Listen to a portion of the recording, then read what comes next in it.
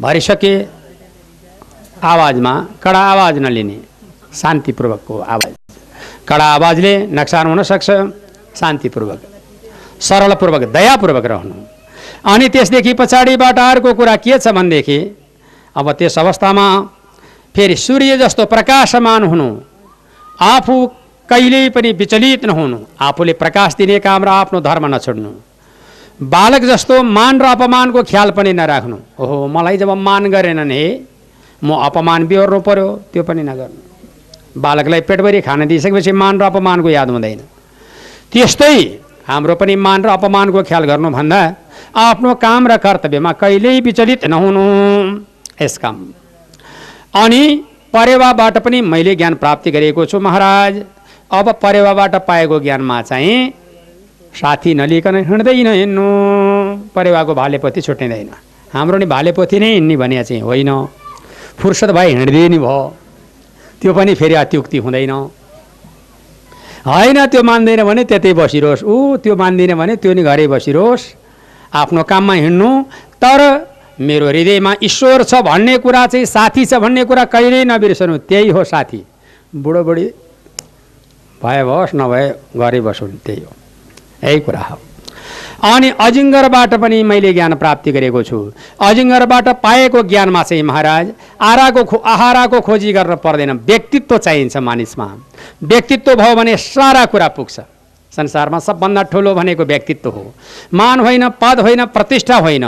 व्यक्तित्व बनाउने योसँग केही छ? यो त अत्यन्त जब विशेष हो। यसबाट यसलाई नजिकमा पार्दा आफ्नो फाइदा हुन्छ। समाज समाजले यसबाट जब मर्यादा प्राय पाइरहेका छन् यस्तो व्यक्तित्व बनाउने जस्तो अजिङ्गरले कहिले आहाराको निमित्त दौडधुप गर्दैन उसको व्यक्तित्व भएको हुनाले स्वा स्वा गरिकन तानेर सम्पूर्ण आहाराहरू पट्टापट्टा आफूले लिन्छ। व्यक्तित्व छ भने खानाको दोष हुँदैन खानाको दुःख हुँदैन। पुर्याउन आइहाल्छन्। गाह्रै पर्दैन। व्यक्तित्व चाहियो नि त। त्यो हो। अजिङ्गर जस्तो हुनु।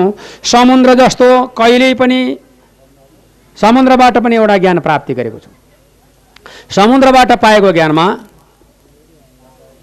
कहिले पनि जब घटी बढी नहुनु चैतमा पनि र भदौमा पनि बराबर देखिन्छ समुद्र ठुला ठुला समुद्रहरू। यसै कारणले समुद्र जस्तो गाम्भीर्यता हुनु यस्तै हो। यस कारणले घटेर बढी नहुनु छ रे भनेर नफुर्गनु छैन भनेर पनि नरुनु। अब दिँदैन कसैले होइन। छ भनेर पनि अर्कालाई बाँड्नु पर्ने पनि होइन त्यो पनि किन छचल्किनु पर्यो? यसै कारणले गम्भीर हुनु। अनि पुतलीबाट जस्तो पनि ज्ञान प्राप्ति गरेका छु। बाबु उद्धव भनेर भगवान्ले बताउनु भयो पुतलीबाट पाएको ज्ञानमा चाहिँ रूपमा ज्यादै छु भन्ने कुराको घमण्ड नगर्नु। पुतलीले ज्यादै रूपमान छु भनेर आगोमा गएर फन फन आफ्नो रूप देखाइरहन्छ। बत्तीमा गएर घुमिरहन्छौ। तर त्यो बत्तीको राँकाले आगोको हुर्काले त्यसलाई जब डढाएर भसक्कै बनाइदिन्छ। रूप छ भन्दैमा उसले बत्तीमा प्रकाशमा गएर मेरो रूप यस्तो छ लहेर भन्दा भन्दैमा ज्यान जान्छ। त्यसै कारणबाट रूप रङ्गमा पनि ज्यादै छु भन्न नभन यस्तै चलिरहेछ भन्नु हिँड्नु आफ्नो काम गर्नु। बस। यही हो।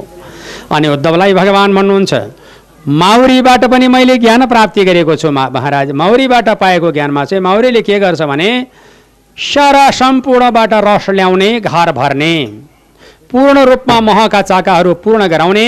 त्यसपछिबाट एउटा डाकाले गएर आगो लगाइदिन्छ मौरी भगाइदिन्छ त्यहाँको महको सम्पूर्ण पात्र आफैले बुझिदिन्छ अब सँग लिएर राख्यो नखाई नखाई नखाई बाउ कहाँ कहाँबाट जम्मा बनाए। धेरै हुँला अनि एकैचोटि बसेर खाउँला भन्दै मार्काले खाइदिन्छ। यसै कारणले हाम्रो पनि अब छोराछोरी बुहारीलाई खुवाउँला। माने यो जब यस कारणले धेरै जम्मा बनाउँला। आफूले सुख भोग गरौँला भन्दा भन्दैमा।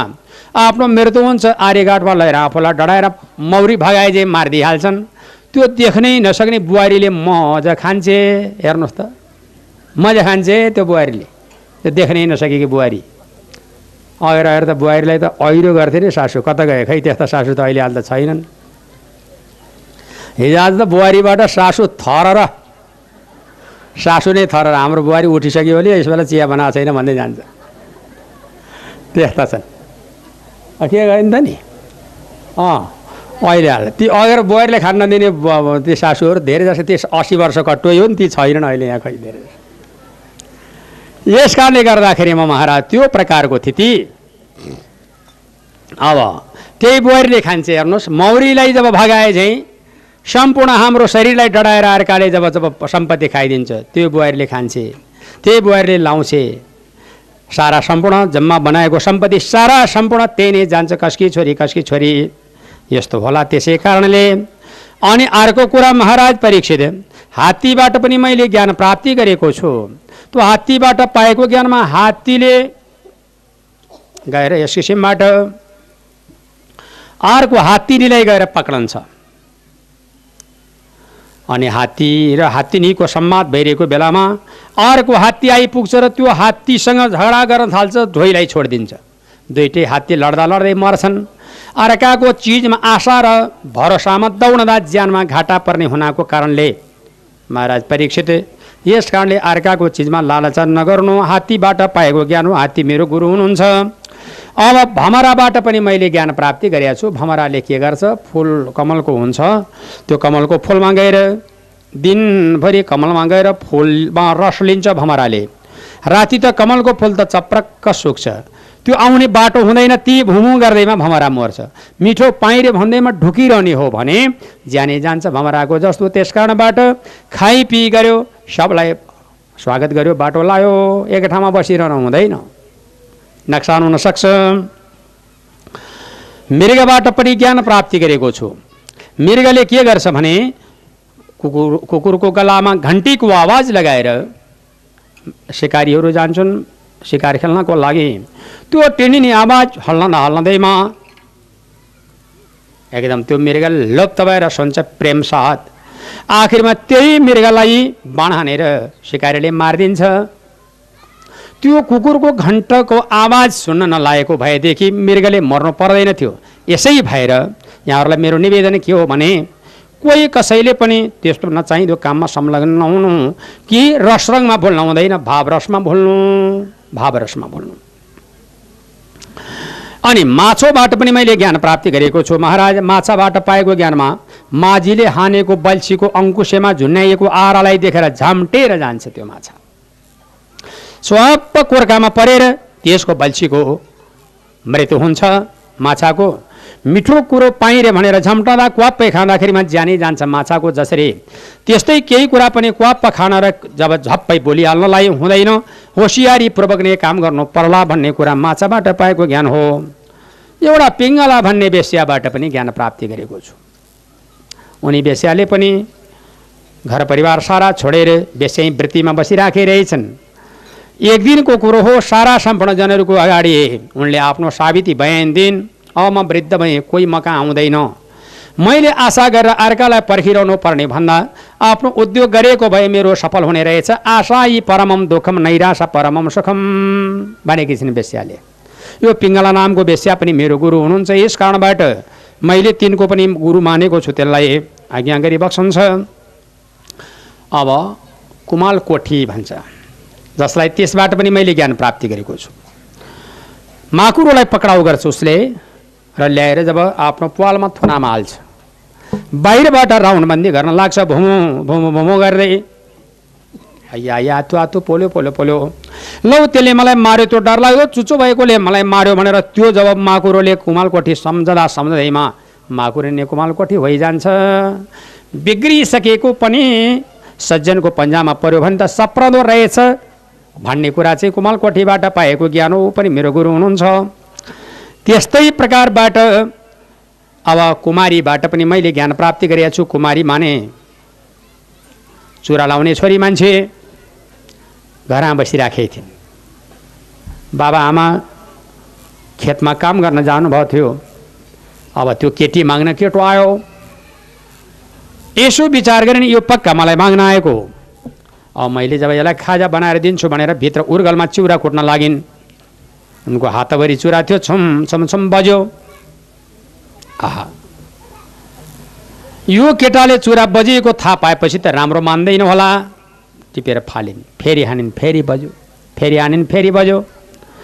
दुईवटा फालिन् चारवटा फालिन् भाइभरको सबै फालेर एक एक मात्रै चुरा लगाएर हान्दाखेरिमा बजिन। यसै कारणबाट एकान्त जग्गामा गएर बसिसकेपछि कसैको ठक्कर हुँदैन। यो चुरा लाउने छोरी मान्छेबाट पाएको ज्ञान हो। त्यस कारणबाट समाजमा बसिसकेपछि केही कुरा तित तितो मिठो राम्रो नराम्रो उत्तरी चढाव हुन्छ। एकान्त गएर बसेपछि केही पनि हुँदैन। यो कुरा हो। अनि यसबाट पनि मैले ज्ञान प्राप्ति गरेँ। बाणकर्ताबाट पाएको छु एउटा ज्ञान महाराज। बाणकर्ताले घरमा बसिरहेका आरनमा बसिरहेका थिए त्यही बाटो राजाको सवारी चल्यो। राजाको सवारी चलिसकेपछि ओ यहाँबाट एउटा सिपाही छलियो। राजाको सवारी यहाँबाट गएको देख्यो भन्दा त्यत्रो फौज लाओ लस्करका साथमा उसले भन्यो कि मलाई थाहा छैन। अनि किन त भन्दा म आफ्नै काममा मस्त थिएँ। एकाग्र चित्त गरेर काम गरेपछि सफल हुँदो रहेछ भन्ने बाणकर्ताबाट पाएको ज्ञान हो। उहाँ पनि मेरो गुरु हुनुहुन्छ। माकुराबाट पनि मैले ज्ञान प्राप्ति गरेको छु। माकुरिनीले बच्चा पैदा गर्ने। खाने कुरा केही नपाउँदाखेरिमा माकुरुनीलाई त्यो बच्चाले खाने। जीवनमा ठुलो घाटा पारिदिने। यसै कारणले सङ्ग्रह गर्दा जीवनमा ठुलो घाटा हुँदो रहेछ सङ्ग्रह गर्नुभन्दा। सङ्ग्रह नगरिकन बस्नु नै बेसो भन्ने कुरो चाहिँ मैले माकुरोबाट पाएको ज्ञान हो। अब महाराज परीक्षित चराबाट एउटा ज्ञान प्राप्ति गरेका छु। चराबाट पाएको ज्ञानमा चाहिँ चराले के गर्छ? पहिला जब घर बनायो त्यसपछि गुणमा लगेर फुल काट्यो। त्यसपछिबाट बच्चा पार्यो। त्यसपछि त्यसलाई जब आहार विहार गरेर हुर्कायो। त्यसपछि बालबच्चालाई सारा हुर्काएर चरालाई जब जब पखेटा लगाएर उडाइदियो। अनि त्यो बुढो र बुढी फेरि त्यो बालकको रक्षा गर्न सँगसँगै पनि जाँदैनन्। त्यही गुण कोरेर पनि बस्दैनन् अन्तै गुण लाउन जान्छन्। यसै कारणले चरामा जस्तो ज्ञान त्यति पनि हामीमा छैन। यस कारणबाट हाम्रो पनि छोराछोरी जन्माइसकेपछि शिक्षा दीक्षा दिने बिहा गरिदिने बुढा र बुढी भगवान्को भजन गर्ने घर अन्तै बनाउन कोसिसपट्टि लाग्ने भनेको हिँ पो तल थपिरहन्छन् हाम्रो यहाँका हिँ तल थपिया छन् उसको भन्दा मेरो अल्को बनाउनु पर्छ भने छन् गरिया छन् गरिया होइन र? यसै कारणले महाराज अब बनाउन नै पर्यो तर जब अलिकति उताको लागि पनि गर्नु पर्यो भन्न आँटेको यही प्रकारबाट महाराज परीक्षितलाई यो ज्ञान मैले जब दिएँ। यही उद्धवका प्रतिमा भगवान् प्रभु परमात्मा परमेश्वरले विचार गरेर प्रमाण गर्नुभएको छ। यो गुरु भनेको जानेर बुझेर मान्नुपर्छ। एकपटक मलाई नि त्यस्तो परेको छ। मलाई आफ्नो व्यक्तिगत घटना यहाँ म बताइदिन्छु। म आफूलाई घटेको घटना। म पानीसँग अलिक डराउँछु क्या। म साह्रै अरू विषयबाट म डराउन्न पानीसँग चाहिँ म डराउने बानी त्यस्तो। अलिकति माथि पानी आएपछि घोडादेखि माथि आएपछि सातो गइहाल्ने बडा बर्बादमा के गर्ने? म तर्नु पर्ने भयो एउटा नदी। अनि त्यसपछि एउटा मान्छे आयो। ल मलाई तारिदिनुहोस् न तपाईँले तपाईँलाई थाहा पनि छ गोर्खाको दरौदी भन्ने त्यो एउटा गीत पनि गाउँछ नि गैरी खेतको सेरी हान्यो के के के के दरौदी भनेर। हो त्यही नदी तर्नु पर्ने थियो। अनि त्यस होइन पुरै जाने छैन कहिले गएको छु र जान्ने। र अनि त्यसपछिबाट ल अब मलाई तारिदिनु सक्नुहुन्छ तपाईँले? भने एउटा मान्छेलाई हुन्छ म तारिदिन्छु भन्यो। पैसाको कुरा भयो हुन्छ म दिन्छु भने अनि जुत्ता फोकाल्न फोकाल्न नपर्ने सुरुवाल फोकाल्न मोजा फोकाल्न नपर्ने ठिकै भयो राम्रै भयो मलाई तारिदिनुहोस् है त म तपाईँको बुइ आउँछु भनेको। हुन्छ भनेर बुइ थाहा थियो यसो हेरेको म भन्दा नि दुब्लो देखेँ। मलाई शङ्का लाग्यो नदी गहिरी जस्तो छ यो म भन्दा नि दुब्लो छ बा। बा बाटा लगाएर छोडिदियो भने त बर्बाद पार्छ भनेर नहार्नु गुहार फेरि। होइन तपाईँ एक फेर तरेर आउनुहोस् त तपाईँ सक्नुहुन्छ कि सक्नुहुन्न। यो म विचार गर्छु अनि मात्रै बुइ आउनु पर्यो भने मैले। अनि उसले "हा, त कति दुःख दिनुभएको तपाईँ चाहिँदैन चाहिँदैन कुरा गर्नुहुँदो रहेछ भन्यो। होइन मलाई शङ्का लाग्यो त्यो गहिरो छै जस्तो लाग्यो तपाईँ जानुहोस् त। भनेको कतिखेर जानु कतिखेर आउनु भन्दै रिसाउँदै गयो। तर भनेर गएको माझमा पुगेको थियो। ओहो गहिरो रहेछ म त सक्दिनँ भनेर फर्कियो। अनि मैले सोचेँ मैले खुब बेलामा बुद्धि पुर्याएको छु। त्यो बेला त्यसको बुझी गएको भएदेखि मलाई ती खोत्रुक्कै अहिले कथा भन्नै नपाउने बराबर। है? भेटघाटै नहुने पो रहेछ त। यसैले यसमा त्यो मैले आफ्नो घटनालाई विवरण गरेको यहाँहरूलाई। त्यसै कारणबाट यो गुरु भनेको अर्थात् विश्वास गर्ने भनेको कुरा जहाँ पायो झट्टै गर्नु हुँदैन भनेको मतलब। विश्वास गर्ने भनेको कुरा बडा गम्भीरपूर्वक यो हो होइन। को हो के हो कति हो यसको गहिराइ कति छ यसमा कतिसम्म हो यो बाहिर कतिको व्यक्तित्व हो यसमा कति आधार छ यसलाई मैले विश्वास लिँदा मलाई घाटा हुन्छ कि हुँदैन यो कुरा सर सोच गरेपछि अनि बुझिजाने हो। याद राख्नु होला यो साह्रै ठुलो आफूलाई घटना घटिया भएर मैले बताइरहन्छु। जहाँ पनि भन्छु म धन नै त्यसका बुझ हतार नै भइरहेको थियो। त्यो रिसाइरहेको थियो मसँग। कति जाने कति आउने? त्यतिलाई फेरि त्यो बेला थियो धेरै थियो र दुई रुपियाँ कुरा थियो। कति जानु कति गर्नु भन्दै थियो। जाऊ जाऊ भाइ जानुहोस् न तपाईँ तरेर आउनुहोस् भनेको त ए म त सक्दै रहन्छु भन्यो। ठिक छ। धन्यवाद। अनि म पर्खेँ अर्को आयो अर्कोले तार्यो यसरी नै यहाँहरूसँग मेरो निवेदन के भनेदेखि नबुझिकन हुँदैन। राजा परीक्षितलाई सुखदेव स्वामीले यसरी आज्ञा गरिबक्स्यो गुरुको महिमाको वर्णन। अब चौबिस गुरुको वर्णन यहाँहरू समक्ष मैले प्रस्तुत गरेँ। यही कुरालाई अध्ययन गर्नुहोस्। यही कुरालाई मनन गर्नुहोस्। महाराज परीक्षित अहिले गुरु जस्ता पनि आइराखेका छन् क्या? धेरै छन् गुरु अहिले त। चेलाभन्दा गुरु धेरै भएको छन्। ल हाम्रो जब म हाम्रो संस्थामा आऊ मन्त्र ल्याऊ हाम्रो संस्थामा आऊ दर्ता गर नाम तिमीलाई ज्ञान हुन्छ भन्ने यस्ता छन्। उसका संस्थामा गएर नाम दर्ता गर्दैमा मुक्ति हुने भएदेखि र ज्ञान ज्ञान ज्ञान भनेर काना भन्दैमा ज्ञानी भन्ने भएदेखि गरिबलाई धनबहादुर धनबहादुर भनिदिउँ न त हुन्छ? आँखा नदेख्नेलाई नेत्रमणि र नेत्रबहादुर भनौँ। कान नदेख्नेलाई कान नसुन्नेलाई कर्णबहादुर भनिदिउँ हुन्छ?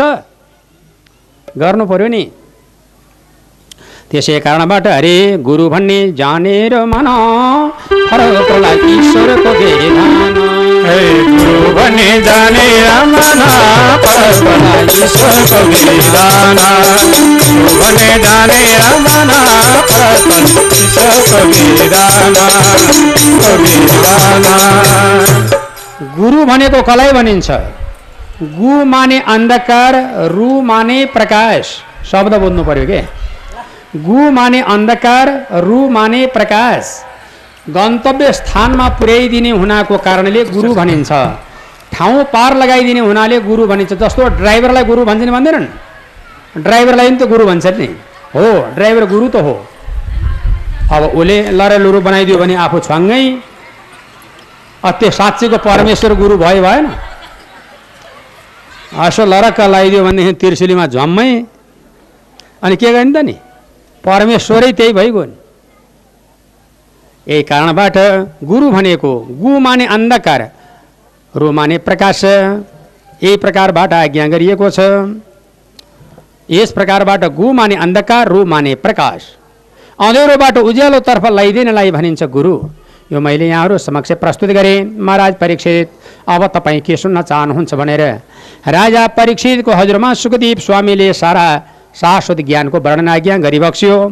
अब यहाँहरू पनि यही प्रकारको विवेकलाई कहिल्यै नबोल्नु अनि त्यस्तैबाट आफ्नो कल्याण हुन्छ। गु माने अन्धकार रु माने प्रकाश। ड्राइभरलाई पनि गुरु भनिन्छ। त्यही हो गुरु नै हो त्यो बेलाको गुरु। उही नै हो परमेश्वरै हो नि।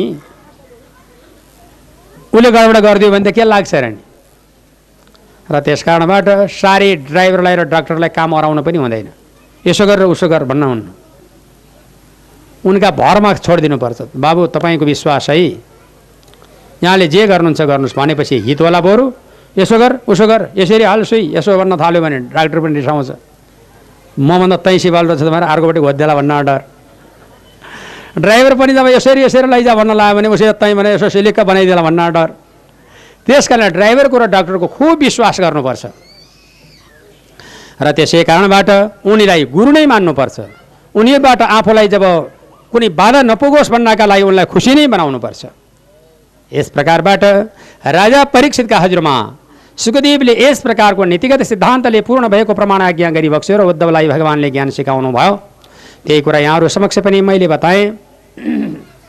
आदरणीय श्रोताहरू श्रीमद् भागवत सप्ताह ज्ञान महायज्ञ आज सात दिनको अनुष्ठान बाह्र गतिबाट लिएर उन्नाइस गतिसम्मको लागि जुन प्रोग्राम तृतीय वार्षिक पुण्यतिथि स्वर्गवासी राजा रानीका र र अन्य राजपरिवारका दिवाङ्गत आत्माको शान्तिको लागि सञ्चालित महायज्ञ र मुलुकमा शान्ति आओस् भन्नका लागि कामना गरिएको देशमा सबै जिम्मेवारी पक्षले जब यस राष्ट्रलाई बचाउनका लागि सबै पक्षबाट उत्तिकै तह र तब्काबाट सहयोग प्रदान होस् भन्ने कामना सबैको मनमस्तिष्कमा विवेक र र ईश्वरको जब अनुकम्पा प्राप्त होस् भन्ने कामनाका साथ।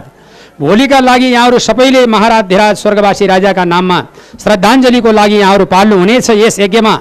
र यहाँहरूले सच्चा श्रद्धाञ्जली यहाँ यसबाट गर्नुहुनेछ।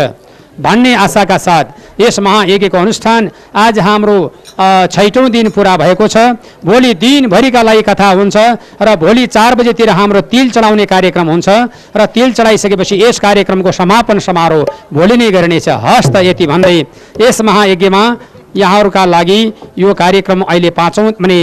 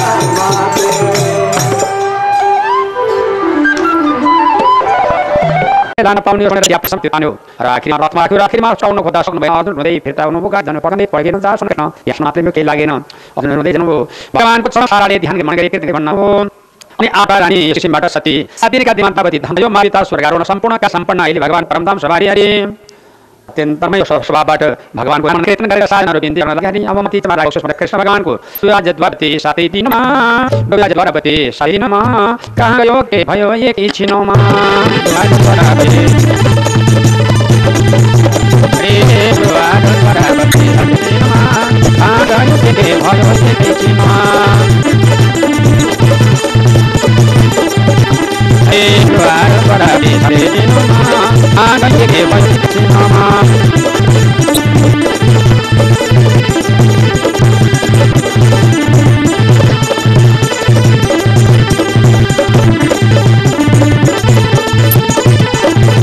परमेश्वर परमेश्वर आनंद के पंछी